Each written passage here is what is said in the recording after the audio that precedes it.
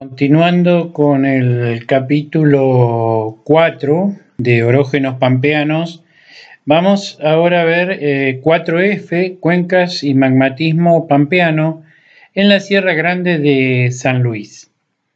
Corresponde ahora esto a la tercera clase teórica. La información eh, está bastante completa, se la puede observar en esta página de la Sierra de San Luis. Eh, hay una gran cantidad de mapas donde se observa eh, las metamorfitas eh, pampeanas, tanto en Córdoba como en San Luis y también en la Sierra de Chepes. Y hay, hay varios mapas sobre las sierras de San Luis. También hay imágenes satelitales de las principales unidades y se observa eh, la descripción de todas las unidades divididas en complejos. En cuanto a la ubicación, eh, acá tenemos eh, la provincia de San Luis completa. La Sierra Grande de San Luis abarca la porción norte-centro. Está limitada hacia el este por el Valle de Conlara, hacia el norte Hacia el norte decía eh, eh, hay una gran depresión que corresponde a la cuenca del Paganzo, ubicado en la provincia de La Rioja. Hacia el oeste hay un sistema de lineamientos muy importantes que es el lineamiento del río Bermejo. Eh, la Sierra Grande, como se puede ver acá, está limitada por un sistema de fallamiento inverso con corrimientos hacia el oeste. hacia el sur eh, está interrumpida por el lineamiento del río Quinto, que es esto que tenemos acá, que pasa por la ciudad de San Luis, y hacia el sur ya encontramos eh, sistemas serranos eh, menores. Bien, las alturas más importantes se encuentran ubicadas hacia el oeste. Hay un sistema estructural bastante complejo, definido por un fallamiento notable, en general fallamiento de, rumbo con corrimientos y hacia el este eh, la estructuración disminuye, la deformación disminuye hasta eh, llegar a la zona de la toma y al valle de Conlara. También esta, deformación disminuye hacia el sur ¿eh? y a la altura, como decía hace un rato, a la altura del valle del río Quinto, eh, la sierra eh, desaparece y es cubierta por depósitos eh, terciarios. Hay varios mapas en los que se puede ver la sierra. hay varios mapas que se pueden ver la geología bien de la sierra. El, sector oeste, que es este que tenemos acá, corresponde con el complejo Nogolí, hay un sistema de fallamiento de rumbo, en algunos casos muy importante, eh, que colocan al granito de la escalerilla entre medio. Luego tenemos lo que sería el complejo Pringles, que es esto de color verde, que está cortado acá por unos granitos devónicos, que es el batolito de las piedras, eh, de las chácaras piedras coloradas. Más al, al, centro está la formación San Luis y el complejo Miquesquisto, hacia el este el complejo con Lara y al norte, en la zona de San Martín, eh, una unidad que fue separada por Bongosen, pero en general todos los autores concuerdan eh, que corresponde con el, complejo con Lara. Eh, esto está simplificado también acá en este mapa, se ve la simplificación y también se ve una gran cantidad de cuerpos intrusivos de edades devónicas mayoritariamente. Bien, em, en cuanto a la descripción de las unidades, eh, una de las más claras es la formación San Luis, definida por el doctor Prosi, docente del Departamento de Geología. En general se trata de eh, pelitas y metacuarcitas con algunos conglomerados. Em, la mayor parte de la unidad se considera formada por eh, depósitos turbidíticos. También, además de estas litologías que acabo de mencionar, tiene niveles tobáceos que han sido datados y las edades están en el orden de los 520-530 millones de años. Tiene una, mm, varios eventos de deformación y eh, por sus características tanto estructurales como litológicas y edad ha sido considerada equivalente a la formación puncoviscana, a la formación la mermela. Hacia el borde, esa unidad se ve acá perfectamente, es esta unidad que se ve acá. Hacia el borde de, de la formación San Luis y en algunos casos en contacto transicional aparece el grupo esquisto, mientras que en otros sectores aparece una, una zona de cizalla que se denomina eh, Río Guzmán, cuyo significado tectónico no está del todo eh, claro.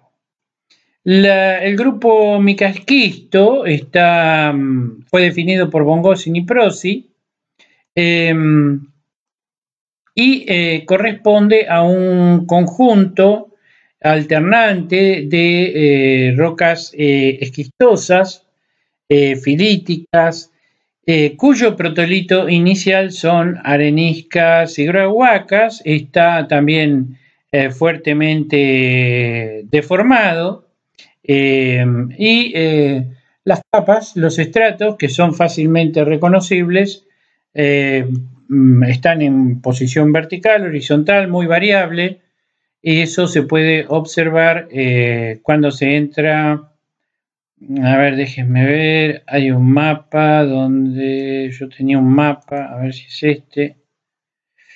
No, parece que no está más. Yo tenía un mapa con unos videos a ver si lo puedo encontrar. Videos, videos, videos. Había unos videos. Bueno, no, no lo encuentro. Qué lástima.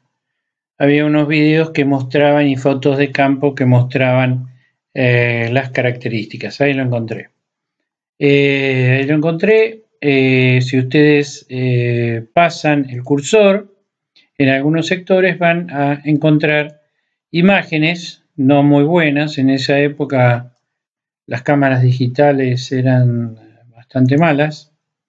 Pueden encontrar en varios sectores, en la zona de la toma, por ejemplo, ¿eh? se alcanzan a ver formas de jamoki, por ejemplo, este es en el complejo La Toma, que, de Conlara, que vamos a ver un poco más adelante, se pueden observar este, diferentes estructuras de este doctor Prosi que definió varias de las unidades de las sierras de San Luis. Bien, eh, decía que estaba en el complejo grupo Micasquisto, decía que estaban en que son areniscas y grahuacas en diferentes posiciones estructurales. Bien, hacia el sector mm, eh, oeste de la sierra, eh, en color acá, en color marrón, esto que tenemos acá, es lo que se denomina el complejo metamórfico este, Nogolí, que forma todo el flanco oeste de la sierra. El complejo metamórfico Nogolí es muy variado, incluye rocas eh, máficas eh, y ultramáficas, incluso se han descrito basaltos toleíticos, ortoanfibolitas, incluso comatitas, eh, mármoles, migmatitas, o sea que es una unidad bastante variable. Incluye también algunos neises, es un sector sumamente deformado y se han obtenido datos de temperatura de grado medio alto, con eh, presiones de hasta 7 kbar en condiciones de anfibolitas eh, granatíferas clinopiroxénicas.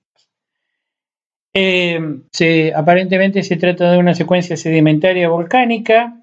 Em, aparentemente es pre-famatiniana, se supone, se suponía, pero y se consideraba que era parte de la colisión del terreno Cuyania, pero una datación realizada en la Sierra de Socoscora, que está inmediatamente al oeste de San Francisco de Monte de Oro, dio edades de 560 millones de años, con lo cual se considera que todo el complejo corresponde al, Pampeano. Y em, últimamente no se ha considerado que corresponda a, estadios de colisión, sino que eh, representa ambientes eh, de corteza oceánica relacionada a subducción. Más al, este aparecen unas franjas eh, ubicadas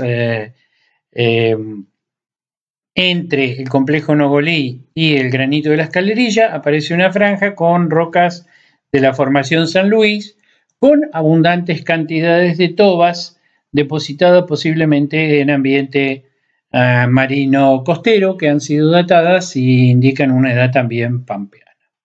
Siguiendo hacia el este, el complejo eh, de la escalerilla, el granito de la escalerilla, se trata de una unidad eh, intrusiva devónica emplazada en una zona de cizalla regional que acá está marcado por estas líneas eh, oscuras. Continuando más al este, eh, en la zona de la Carolina, eh, aparece el complejo Pringles. El complejo Pringles, como dice acá, está constituida por rocas cuarcitas, anfibolitas, esquistos, es muy variable. y como el resto de la sierra, este, está constituida por varios eventos de, deformación y temperaturas que alcanzan los 700 grados centígrados. Hay eh, dataciones eh, en estas rocas, eh, sobre todo en, en, circones, en bordes de circones, que muestran edades entre 460 y 540 millones de años, pero mm, unidad, eh, circones realizados también en, otras unidades aparecen edades de 500 millones de años, con lo cual se considera que eh, corresponde al que corresponde al Pampeano. Finalmente, eh, bien al este ¿no? y norte, desde San Martino de Quines, podríamos decir, hasta eh, lo que es Santa Rosa de Conlara, eh, la Toma, la Sierra del Morro e incluso la Sierra del, Portezuelo, en el centro del Valle de Conlara. Esto eh, corresponde al complejo Conlara. Se trata de mm, la parte de menor grado metamórfico, aparecen una abundante cantidad de rocas areniscosas y pelíticas, Em, constituidos por moscovita, granates y limanita, o sea, se trata de metasedimentitas, hay algunos neises e incluso eh, se pueden observar en algunos sectores migmatitas, pero en la mayoría de los afloramientos se puede reconocer fácilmente la estructura sedimentaria, como la que vimos en la imagen anterior, donde se veían unas ondas y jamoquis en el balneario de la, de la localidad de La Toma. Eh, hay varios eventos de, deformación. En general, la mayor parte de, la estructura de la sierra es en dirección eh, norte-sur o noroeste sur-sudeste. Y también hay este, plegamiento, pero es, más abierto que lo observado en los otros eh, complejos. Hay mm, edades potasio-argón, de 450, 410 eh, millones de años. En un principio se suponía que esto correspondía al complejo, al sistema famatiniano, a la orogenia famatiniana, pero hay nuevas edades que indican claramente que esto se trata de unidades eh, pampeanas, posiblemente eh, depositadas en un ambiente marino, eh, ubicado hacia el este, al oeste del cratón del río de la Plata. Em, hay muchas hipótesis, acá se ve una de Von Gossen, de cómo serían los eventos producidos en la en las sierras de San Luis, los diferentes eventos producidos en la Sierra de San Luis. La mayoría de estos dibujos, que son de Von Gossen, intentan apoyar la hipótesis de Ramos sobre la presencia de un terreno ubicado más al oeste, que en general se asocian con el, terreno Cuyania. Eh, sin embargo, em, ahora con estas edades que tenemos ahora, y sabiendo que el terreno Cuyania podría haber colisionado recién en el Ordovícico, este, hay muchas partes de estos modelos que eh, están absolutamente descartados. Lo que sí parece claro es que hacia el este está el cratón del Río de la Plata y que estas rocas eh, se apoyaron sobre ese cratón en un margen pasivo y que durante el Ordovícico aparece un arco que se extiende desde la Puna hasta la comarca norpatagónica, eh, que produce deformación, metamorfismo, plegamiento y desaparición de, esa, de ese margen pasivo con la formación de un margen activo a lo largo de al menos una buena parte eh, de Sudamérica. Bueno, hay algunas otras imágenes más. Eh, bueno, ahí se pueden bajar. Eso es un video. Y después eh, les decía, hay eh, diferentes imágenes. Eh, acá tenemos algunas en la zona de la Carolina. Bueno, no se ve bien, parece que no baja. Ahí están, donde se observan las estructuras de deformación. Supongo que muchos conocen esto ya por el viaje de viajes de petrología que han realizado a la zona. Así que me parece que pienso que tienen la, han visto en terreno las rocas eh, de la Sierra Grande de, San Luis. Em, bien, creo que por acá eh, ahora podemos eh, dejar ya esto por terminado.